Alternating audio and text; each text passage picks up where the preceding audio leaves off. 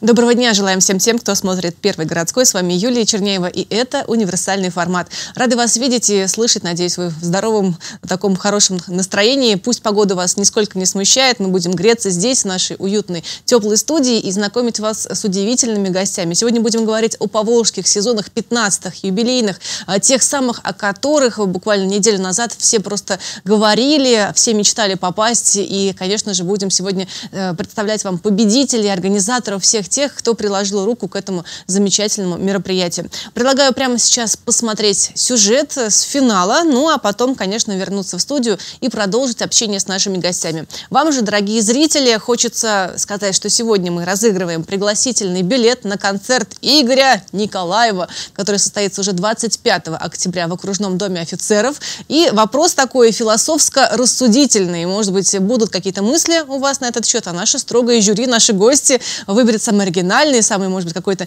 интересный ответ на вопрос, что же для вас мода. Звоните 202 11 22. Ну, а сейчас смотрим сюжет и возвращаемся в студию. Году литературы посвящается. Роман Виктора Гюго «Собор Парижской Богоматери» вдохновил молодых самарских дизайнеров. Бруски аксессуары, ткани с отблесками золота – почти королевский шик. Экономические санкции моде нипочем. В России умеют жить красиво и при небольших затратах. Мы вдохновлялись как раз а, самим собором, его архитектурным устройством, как раз вот этой вот галереей королей. Вот это вот убранство, оно выглядит достаточно ярко, вот это вот богатство есть, присутствует, но я бы не сказала, что очень дорогая коллекция. Модельеры уверены, все это будет носиться. Коллекция участвует в номинации «Костюм реальность». В этом году поволжские сезоны стали по-настоящему всероссийскими. В финал прошли 24 коллекции. Среди дизайнеров представители Карачаева-Черкесии, Москвы, Санкт-Петербурга, Иванова. На моду смотрят широко. Изюминкой стали коллекции в этническом стиле, с армянским орнаментом или в мусульманских традициях. Длинные юбки, сдержанная цветовая гамма. Илина Саитова из Тюмени сделала актуальной и современной традиционную одежду сибирских татар. Перфорация на коже авторская, авторский рисунок а, выполнен по а, мотивам национального узора сибирских татар. Ну вот в этой, например, модели здесь есть и перфорация, и э, то, что она распашная, это традиционный силуэт. Молодые дизайнеры уверяют, в последнее время интерес к отечественной одежде стремительно растет. Причем мода от начинающих кутюрье не бьет по кошельку. Цена на дизайнерские вещи начинается от тысячи рублей. А качество исполнения и художественная идея костюмов, которые уже 15 лет представляют на поволжских сезонах, оценили не только российские модники, но и мировые эксперты. Замечательный праздник моды и красоты и, конечно же, театрального костюма – я очень благодарен публике, которая поддерживает наши сезоны. Ваше участие для нас особенно важно. Фестиваль «Поволжские сезоны» вошел в число главных культурных символов Самарской области. Из всех подобных мероприятий, которые проходят в Российской Федерации, только фестиваль «Поволжские сезоны» включен в мировой календарь модных событий. В этом году в тренде оказалась классика. Гран-при фестиваля в Новокуйбышевск увезли театр-студия «Грань» и художник-дизайнер Елена Соловьева. Жюри очаровали костюмы к спектаклю «Таня, Таня», а зрителей – подача, искренние эмоции и театральное действо на сцене. 202 1122 телефон прямого эфира. Если вы были на поволжских сезонах, если, может быть, вы участвовали или а, какие-то есть у вас пожелания и какие-то комментарии по этому поводу, звоните, рассказывайте. Ну а я сейчас буду рада представить вам наших гостей в первой части программы арт-директор Поволжских сезонов Александра Васильева Мария Казак. Мария, здравствуйте. Вера Шадрина, художник театра «Пластилиновый дождь». Здравствуйте. Здравствуйте. Галина Беляева, также художник театра «Пластилиновый дождь». Здравствуйте. Маша, ну вообще гремели на всю страну, по всем телеканалам показали, все соцсети, соцсети взорвали. Модели, которые фотографировали себя, так сказать, за сценой, ну, просто собрали невероятное количество лайков. 15-й юбилейный, ну уже ребенок такой взрослый получается, 15 лет. Ну вот выдохнуть спустя неделю. Какие эмоции, какие ощущения? Нам, как организаторам, выдохнуть еще не пришлось. Ага, то есть вдохнули? Это иллюзия, да, потому что мы до сих пор еще еще закрываем этот фестиваль и продолжаем чередой новых событий, про которые мы тоже расскажем. Ну, конечно, мы очень долго ждали, готовились и ждали этого мероприятия. Радует, что нам удается оставаться традиционными, ежегодными, потому что на самом деле не, не каждый фестиваль может этим похвастаться. Да еще в такое, мы не как бы, пропустили ни одного да, 15 года, лет. и Александр Васильев также не пропустил ни одного ни одного поволжского сезона, несмотря на свою занятость, на свой плотный график, для Самары он всегда находит время, для своей родины, где родился его отец, он всегда находит 2-3 дня для того, чтобы приехать сюда и в качестве своего благотворительности и меценатства поработать с молодежью, с начинающими, с молодыми дизайнерами, с театральными художниками, а, отдать эти дни для них, для того, чтобы им помочь, им подсказать. И радостно, что в этом году прошел юбилейный 15-й фестиваль. Это здорово. У нас есть уже телефонный звонок с такие моды. Нам звонят. Мы же обозначили тему сегодня. Алло, здравствуйте, как вас зовут? Здравствуйте, меня зовут Нина. Нина, очень приятно. Нина, ну предлагаем вам ответить на вопрос, что же для вас мода? Для меня мода – это состояние души, это уверенность в себе. Так, очень коротко, но очень емко. Спасибо большое. Есть ли, может быть, какие-то вопросы нашим гостям? Что-то хотите узнать, уточнить? Да, нет, вопросов нет. то тогда смотрите дальше. Друзья, звоните, если у вас есть свое мнение насчет а, нашего сегодняшнего вам задания, что же для вас мода. Наши эксперты к концу программы подведут итоги, выберут лучшие, на их взгляд, комментарии по этому поводу. А, ну, так вот, э, 24 коллекции, это же очень много, на самом деле, география обширна. Коллекций на самом деле было изначально еще больше. Сколько потому что заявилось? у мероприятия есть жесткая, четкая структура, многолетняя сложившаяся, и заявок было у нас от 77 авторов, 77 ума сойти. дизайнеров. И уже для очного участия, для полуфинала в Самару приехало 54 коллекции, 54 автора. Был закрытый полуфинал, который проходил в строительном университете, архитектурно-строительном, где участники плотно очень работали с жюри, непосредственно сами представляли свои коллекции и выходили к жюри, что тоже для конкурсов подобных редкость. Так практически нигде не, не бывает. У нас специ- специфика конкурса, что вы можете пообщаться напрямую с членами жюри, услышать их мнение, И критику, быстренько, советы. допустим, да? Бывают случаи, что к финалу что-то за ночь удается переделать, улучшить, а, используя советы жюри. И уже для финального шоу на сцену оперного театра было выбрано 24 лучших коллекций, которые представляются в четырех номинациях. Мгм. Ну давайте, у нас есть фотографии, пока мы их будем смотреть, э, Мария нам расскажет, какие же это номинации, четыре основных. Александр. Вот так вот начинался. Приветствует, Александр. да. А, Четыре номинации. Это что за номинации? А, Это костюм реальность, и это наиболее носибельная одежда, то есть это одежда предапорте, которую можно носить, одевать, и которая, которую можно продавать, и которая может найти своего потребителя пот- потенциального. Так. Затем костюм художественная идея. Это уже более фантазийная номинация, а, где а, идея доминирует над а, носим- носимостью, над утилитарностью. Это больше от кутюр. Затем номинация перформанс, где уже само действо и само шоу а, выступает э, не менее важным, чем сам костюм. И номинация театральный костюм, что является изюминкой нашего фестиваля, потому что именно Александр Васильев, будучи художником театральным, предложил эту номинацию в наш фестиваль. И такого подобного ни в одном другом фестивале вы не встретите, такой номинации. Ну, мне хочется, меня все спрашивают, спроси, пожалуйста, у, у Маши, спроси, пожалуйста, у людей, как Александр Васильев в, в- жизни в обычной. А, смотр- может ли он, допустим, подсказать что-то человеку, который к нему подходит, сфотографироваться или что-то еще? А какой он в жизни? Расскажи, Маш. Александр очень профессиональный человек, то есть это не вызывает никакого сомнения, и очень при этом скромный. И, то есть, несмотря на то, что мы начинали, когда он еще не был столь широко известен, и затем он, у него э, более популярен он стал благодаря его э, передачам, которые тоже все смотрят, а, никакого особого райдера, никаких звездных, так сказать, вот этих за- замашек. Не привычек подходите ко мне на больше, чем на метр. но нам, нет. как организаторам, стало труднее не с ним, а с окружением, пожалуй. Потому что действительно его атакуют толпы поклонников. Я не исключаю, что в следующем году нам надо будет уже какую-то службу безопасности подключать для того, чтобы а, э, эти толпа э, поклонников уже не, не- не- не так, не, раз- не раз- забрали его на пуговки просто. На кусочки. У меня вопрос, Да. вот, э, как долго шли репетиции, вот это все нужно же поставить, э, кто руководил и самим показом именно выверкой моделей? их, Ну, всем Да, у нас, остальным? потому что, получается, очень много людей съезжаются на два дня буквально со всей страны, И э, жесткая структура фестиваля позволяет с таким большим количеством людей, которые впервые встретились, сделать в результате дела, Шоу, да. сделать шоу. И, конечно, с нами работает профессиональный режиссер Оксана Штанина. У нас профессиональное модельное агентство «Самарские», с кем мы традиционно работаем. И для моделей тоже очень престижные, они ждут Конечно, поволжских конечно. сезонов.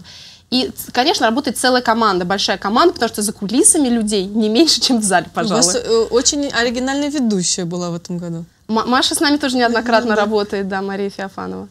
Вот. И, конечно, за счет четкой структуры и достаточно жесткого темпа, э, и нельзя опаздывать, все должны четко все делать в рамках э, регламента, только благодаря этому удается такое большое количество людей организовать, и чтобы все было четко. Здорово. Ну, я хочу теперь обратиться к нашим э, гостям. Э, Галина, ну вот каково это участвовать в таком масштабном шоу, да еще и не просто участвовать, а даже как-то так победить? Ну, действительно, для нас это был совсем новый опыт. Мы в, в первый раз э, попали на Поволжский сезон, и в силу того, что мы не, не имеем прямого отношения и прямого образования, да, э, то есть мы вообще театр уличный и привыкли, конечно, бо- больше э, к такому К асфальтному э, варианту. да, солнце, люди, много... Ну, не fashion, да, так сказать? Нет, э, совсем нет. Вот, но был очень интересный и очень познавательный опыт. Да, нам, ну, ситуация так сложилась, как бы, что нам пришлось ко- костюмы делать самим, потому что очень сложно найти, на самом деле, художника и ну, дизайнера и портного, и, то есть, э, кто учел бы все наши пожелания и понимал бы нас, и делал то, что им требуется. Тем более, что есть определенная специфика. Ходули это и так э, не слишком удобная танцевальная обувь, прямо скажем. Ходулисты Вот. практически герои. Вот, поэтому костюм, конечно же, он в первую очередь не должен препятствовать движению, не должен препятствовать ам, трюкам, потому что трю- э, трюковых элементов очень много, да, и безопасность превыше всего. То есть у вас такой э, прям целый список, э, Ну, что да, должно то- быть. что должно быть, что должно учитываться. И действительно большой список и непросто. И, конечно же, должны образы, те, которые мы вложили в героев, они должны напрямую с костюмом соотноситься, то есть с- соприкасаться и должны помогать человеку, ходулисту, да, там, актеру, неважно, должны помогать передавать то, что заложил хореограф, режиссер и все. Но мы узнали очень многого, очень многое. Очень много. Вот. Я думаю, что это был не последний наш. Я надеюсь на это. Зажглись, загорелись. Да, да, очень, да, А, очень. Вера, расскажите. «Белые сны». А Мы сейчас увидим на экране фрагменты вот как раз-таки выступления, так скажем, именно вот шоу. А, Как долго вы готовили, чем вдохновлялись? Ну, вообще, «Белые сны» — это уличный перформанс, он идет у нас минут 40 на улице. И вот то, что мы показывали, это был небольшой кусочек, вытащенный, да, из этого перформанса. Как народ реагировал в зале на него? Понятно, что многие-то вы- видели выступление. Ну, знаю этот, мы очень боялись, да, как все это воспримется вот именно в таком формате, на такой публике, но когда на полуфинале мы увидели, как все смеются и улыбаются, и всем весело и здорово, и потом в оперном, когда тоже весь зал мы, ну, как мы слышали, это, да. по аплодисментам, по каким-то вздохам. Ну, это, конечно, очень здорово. У нас вообще так и есть идея. Все, чтобы было весело и задорно. Нести И добро мы- людям. Да, нести добро А что людям. жюри Мы это- сказало вам? Какое-то замечание было в вашу сторону? Ой, мы Что-то так- делали за ночь? Вот Так долго мы готовились к речи. Целый день с Галей думали, что же Да. сказать, что же сказать, что же сказать. А как-то у нас ничего не спросили. Да. Нас поблагодарили. Поблагодарили, да. Сказали спасибо, идите. Мы были очень Маша, же есть какой-то удивлены. комментарий по этому поводу? А я думаю, что главный комментарий, то, что эта коллекция является победителем в номинации «Перформанс», Так, что нашим режиссерам-постановщикам эта коллекция была выбрана для закрытия конкурсного показа, поэтому других еще эпитетов трудно То добавить. Сидят, стесняются, Они стесняются, да. Вот, и мы очень рады, что вы приняли участие в первый раз, и надеемся, что, конечно, не в последний. Мы тоже надеемся. У нас звонок есть телефонный. Алло, здравствуйте, как вас зовут? А, Здравствуйте, меня зовут Елена. Елена, очень приятно. Слышали о таком замечательном фестивале, как «Поволжские сезоны» Александра Васильева? Да, вот я тоже хочу сказать, что мода это прежде всего искусство. Так. Да, уже потом только э, хороший вкус, красота, ну, какой-то определенный стиль, который, наверное, соответствует времени, определенному времени, образу жизни так далее. Ну, мне кажется, на первом месте это искусство. Мгм, спасибо большое. Ну вот у нас уже есть два комментария. Нина сказала, что мода – это состояние души. Елена говорит, что мода – это искусство. Мы же ждем, друзья, ваших звонков по вопросу нашему сегодня. Что же для вас мода? Разыгрываем билет на концерт Игоря Николаева. Я думаю, что а, как раз-таки хороший подарок. А, Ну, я думаю, наши сегодняшние гости в конце эфира оценят ваши старания, и мы выберем, на их взгляд, лучшее высказывание на сегодняшнем эфире. А у нас есть а, еще фотографии э, с показа, есть с конкурсной программы а, 1914. Что это за коллекция? Это коллекция Наили Хайрулиной и Ксении Буреги из города Оренбург. А, Ксения Бурега неоднократно уже принимала участие в фестивале. Вообще Оренбург активно приезжает Мгм. к нам в Самару, активно очень участвует. Э, Но в этом соавторстве они участвовали впервые. Как правило, из Оренбурга они вот именно привозят коллекции в номинацию «Костюм реальность». И эта коллекция как раз была лучшей в этой номинации. А почему 1914? Я вижу, конечно, некоторые отголоски прошлого. Это год? Или это какая-то шифр какой-то? Это какой-то шифр. Да? Это какой-то шифр, который закодировали в своем названии дизайнеры. Вот, и я думаю, что это каким-то образом как- на них повлияло и было источником вдохновения. У меня вопрос. А что-то продают дизайнеры вот прям сразу или во время фестиваля, показов, потом у них есть? У какая-то обратная связь, вот что продалось, Э, например? Да, у что? нас фестиваль развивается в эту сторону, потому что действительно дизайнеры стали делать более носибельные, более коммерческие Мгм. вещи, более коммерческие модели. Я вот купила бы У прям нас есть э, тут. шоурум после фестиваля, который уже э, несколько раз мы проводили, рассказывали про него. И в этом году после фестиваля два дня был большой очень шоурум. Вот, и- Купили и, многое, действительно да? вещи покупаются, что-то заказывается на индивидуальный размер под заказ, что-то что-то приходят также байеры и что-то заказывается для самарских шоурумов. Вот, поэтому э, у фестиваля есть предпосылки к созданию некой такой недели моды, в общем-то, нескольких Как дней моды. здорово. В общем-то, это уже сейчас так, так и есть. И э, фестиваль является такой отправной точкой для дальнейшего развития отрасли. Мгм. Здорово. У нас по-прежнему поступают звонки. Игорь Николаев сегодня популярен, как, собственно, и мода. А давайте принимать, да. А, Алло, здравствуйте, как вас зовут? Здравствуйте, меня зовут Елена. Очень приятно. Давайте отвечайте вы на вопрос, что же для вас мода. А вы, девушки, запоминайте.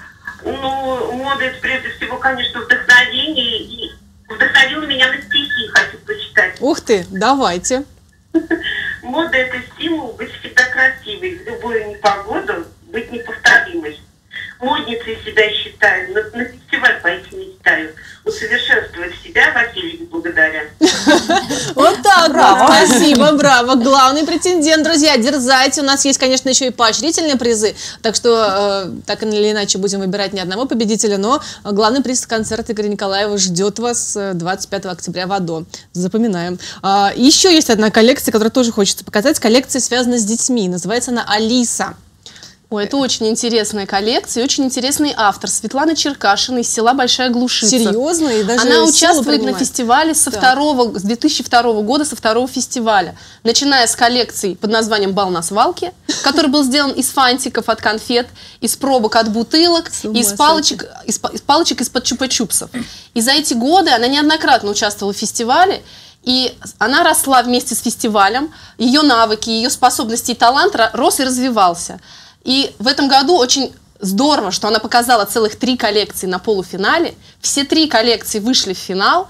И коллекция под названием «Алиса», детская коллекция, была признана лучшей в номинации «Театральный костюм». Ну, тут понятно, что за Алиса, да, что за кролики и все такое. Как вот э, детки вообще реагируют на то, что они становятся частью такой культуры, получается? А, Дело в том, что Светлана, автор этой коллекции, является преподавателем внешкольной деятельности дополнительной, и она занимается именно с этими детишками, и с- по- вместе с этими детьми она эти модели создает. Ух ты. Поэтому дети, они выступают не только в качестве моделей, но также и в качестве тех, кто своими ручками это изготавливают. И мы за, за это Светлане очень благодарны, потому что она тот человечек, который несет это детям, причем в такой красивой форме, потому что далеко не всем удается с детьми так грамотно, профессионально работать. Выращивать будущих участников да. поволжских да. сезонов. Вот, а Светлане это очень хорошо удается, потому что ее коллекция, ее работы получаются светлыми, а, детскими, добрыми и очень красивыми. Здорово. Ну вот я у девушек хочу спросить, вы уже загорелись на следующий год тоже, да, принимать ну, участие? Есть какие-то мысли, да. Вот, а, я так понимаю, э, ваш коллектив, который создает эти костюмы, не только вы вдвоем? Ну, нет, конечно, у нас весь коллектив принимает участие Все в этом. Да, в основном, э, я в основном являюсь художником и актрисой театра.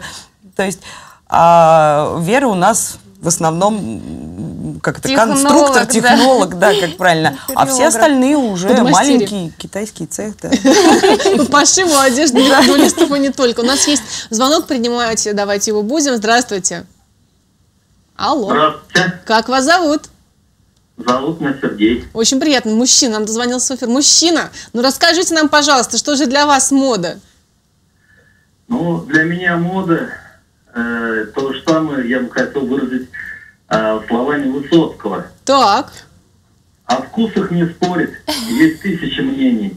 Я этот закон на себе испытал. Ведь даже Эйнштейн, физический гений, ведь весьма относительно все понимал. Как здорово! Спасибо Прекрасно. большое! Спасибо большое! Ну, собственно, на э, этой прекрасной ноте, на этих замечательных стихах Владимира Высоцкого мы нашу первую э, часть закрываем. Благодарим театр «Пластилиновый дождь» за участие. И во второй части уже встречаем театр «Грань» из города Новокуйбышевск, который тоже покорили зрителей удивительными выступлениями, эмоциями, костюмами, в том числе, так что не переключайтесь. Здесь немного мрачно и холодно, и такое ощущение, будто находишься в гигантском выпуске новостей. Танки в огне гражданской войны, нефть и большие деньги. Два месяца бессонной работы и самые актуальные темы, о которых говорили и продолжают говорить. Фрол веселый, удивил так удивил, восхищаются посетители. Сам же автор скромно следит за эмоциями гостей и весьма скептически относится к своим работам. Захотел сделать персональную выставку, все-таки давно персонально как не выставлялся в Самаре, 7 лет. Вот, много уже. А как сказала одна моя знакомая, это материал френд-ленты в Фейсбуке. Вот, то есть все медийные поводы вот прошлого года, этого года. Наталья давняя поклонница работ художника, помогала ему в создании афиши и уверена, что каждый самарец, неравнодушный к современному искусству, найдет за что оценить творчество Фрала Веселого. За нестандартный подход, за текущий акрил, люблю его, и за то, что он э, смотрит на актуальные темы, потому что многие художники уходят в какой-то зал, а Фрол пытается нам какими-то интересными, доступными способами взгля... помочь взглянуть на мир. Вот, например, серия «Скотный двор». Самая моя любимая. Я очень люблю вот коровок, свиней и гусей в исполнении Фрала Веселого. Но особое внимание публики привлекают эти гигантские тедди-биры. Стальные проклепанные мишки, казалось бы, играют огромным мячом или камнем в баскетбол. Но, как признается сам автор, свое вдохновение он черпал из нашумевшего барельефа «Битва титанов».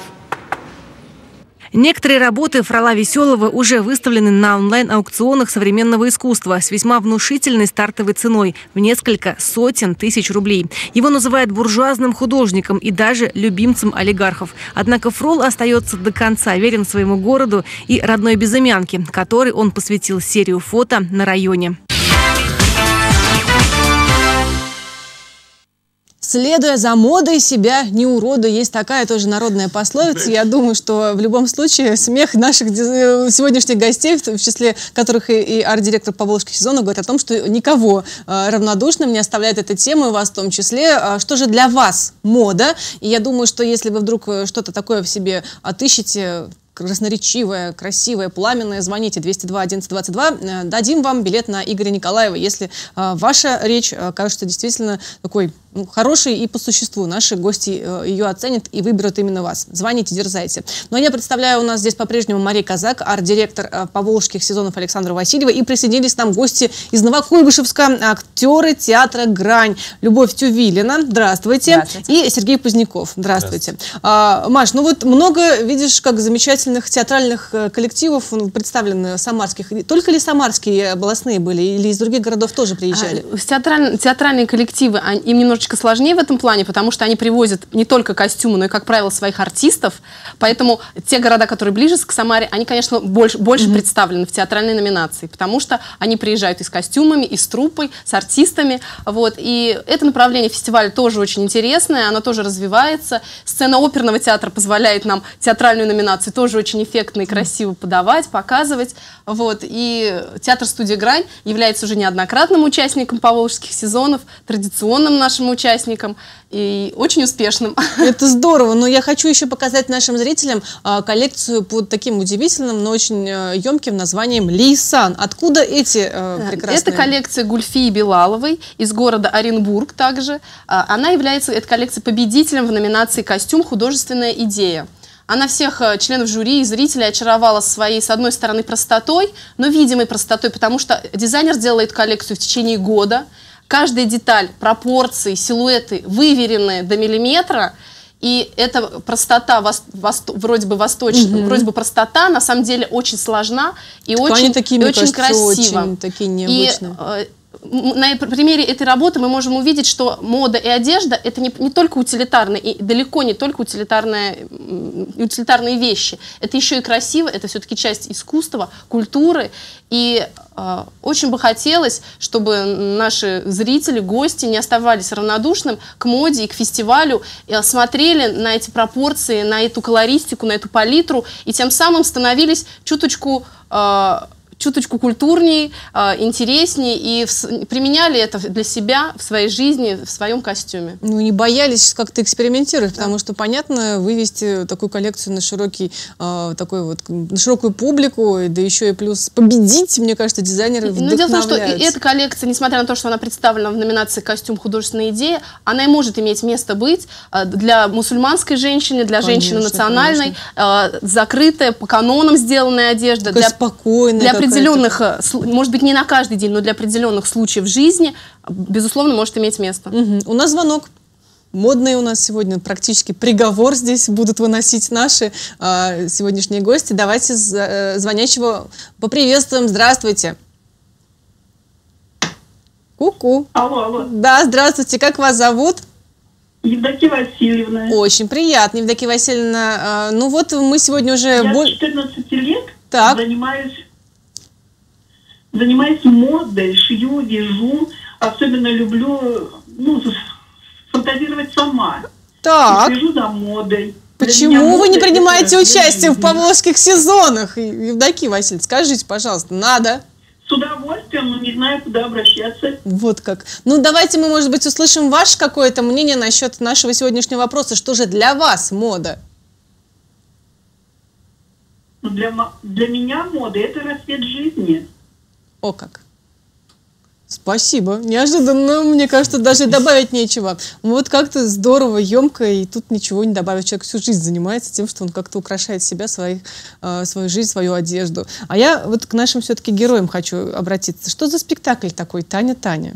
Люба, «Таня, Таня» рассказывайте. Это спектакль о любви, о ревности, о страсти.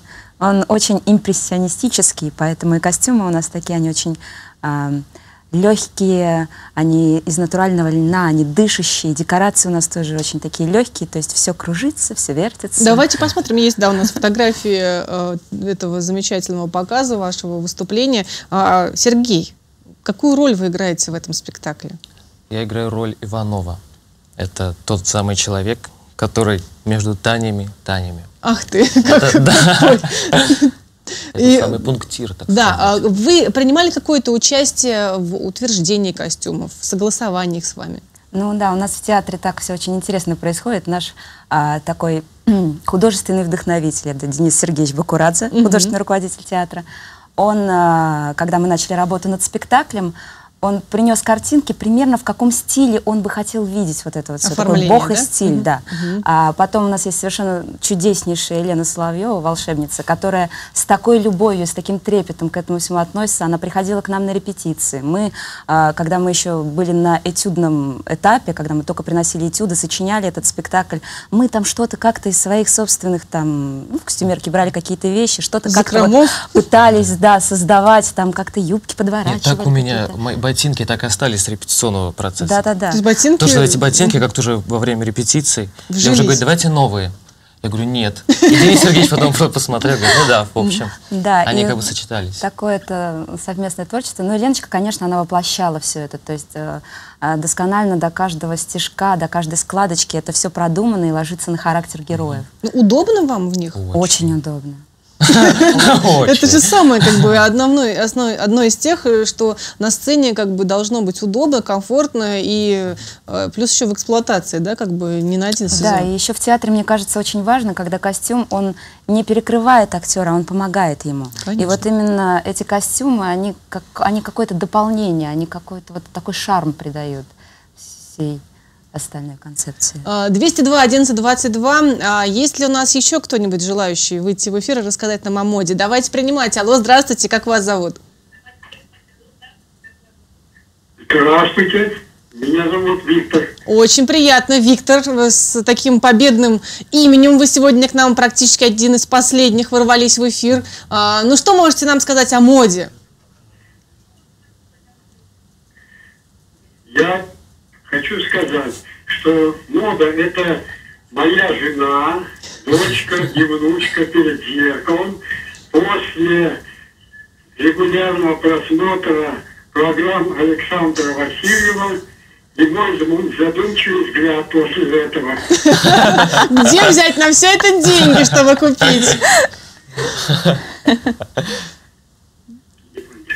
А, Скажите, пожалуйста, да, а как вот они для вас показы, что ли, устраивают? Я, я не слышу, что там. там. А- Они устраивают показы для вас, я спрашиваю?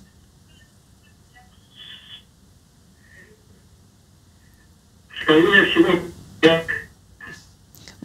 Что-то со связью, но мы услышали, да, что для Виктора мода это внучка, дочка, жена, все, кто, видимо, после как раз-таки просмотра действительно Вдохновленные вдохновленные, там что-то прогуливают и говорят, нет, снимите, это сейчас не модно. Ну, вот если говорить об итогах все-таки фестиваля, я знаю, что вот вначале мы сказали, что все это продолжает, не останавливается. Что продолжается, что не Ну, останавливается? сам фестиваль, он традиционно в октябре, показы, все это имеет место быть каждый год.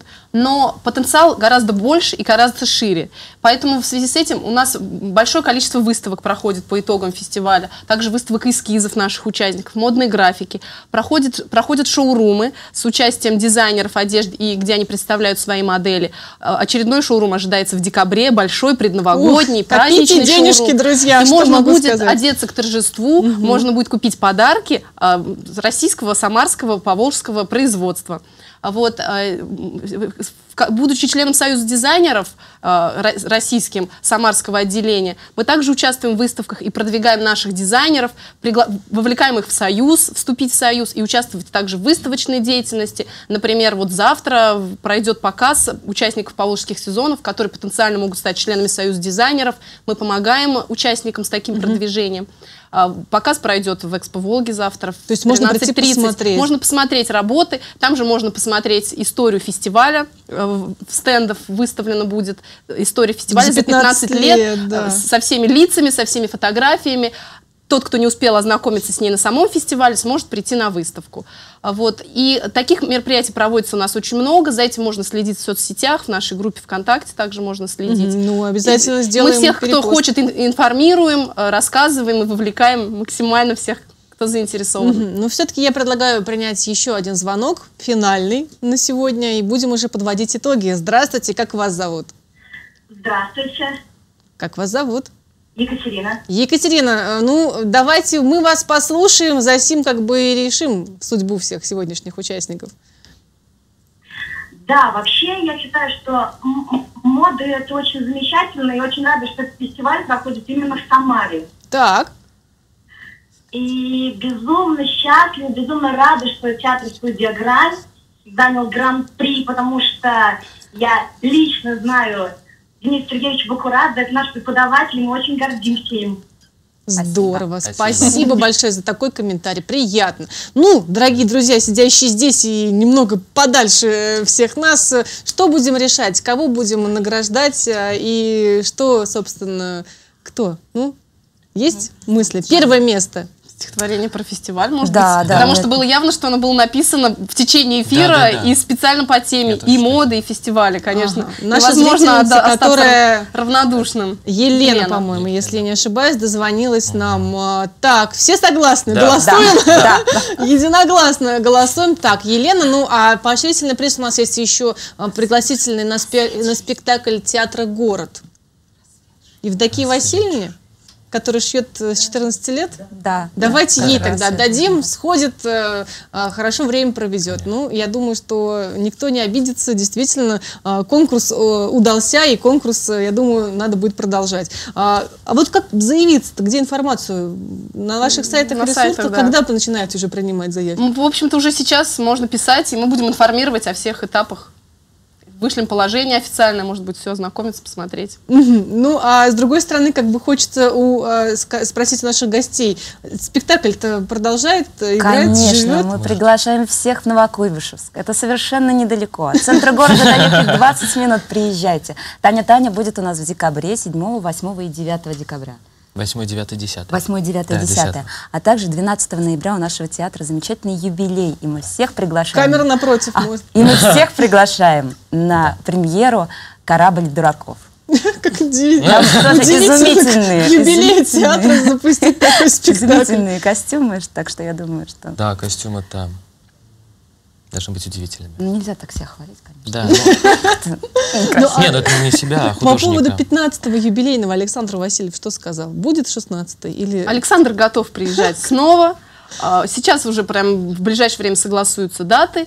И, наверное, можно раскрыть секрет, потому что уже известна тема будущих 16-х поволжских сезонов. Да-да-да-да. Это еще не звучало нигде, это эксклюзив. Эксклюзивная информация. А Что Тема же- предстоящих 16-х поволжских сезонов – это неоконченное путешествие Россия-Франция.